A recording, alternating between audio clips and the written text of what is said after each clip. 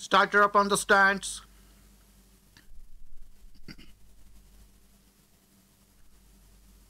And they're away racing for the fourth race of the day.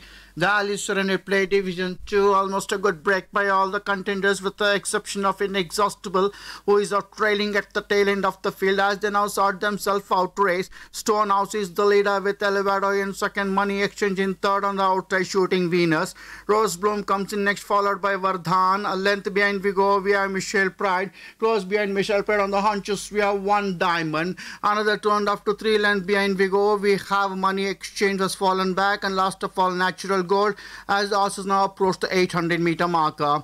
Stonehouse continues to dictate turns with advantage 3 in front of Elevado. For the back we have a money exchange, a bigger pardon. For the back we go, then we have Vardhan. Shooting Venus comes in next as the horses now soon swing around the corner to enter to the final run in. Round the turn and into the straight they enter. Stonehouse comes in on first by 2 in front of Elevado. Further back we go, we have money exchange. Moving up on the wide outside is Vardhan with about 300 meter more from Judge now. Stonehouse still the leader. Money Exchange is the one gathering movement in the center of the course. Then we have Vardhan. Money Exchange has taken start to lead the pack by half in front of Vardhan on the outside. Elevado in the center, moving up on the wide outside. One diamond, but Money Exchange still at level two in front of Vardhan and one diamond. Money Exchange is going to be three enough to four ahead of uh, the late coming one diamond.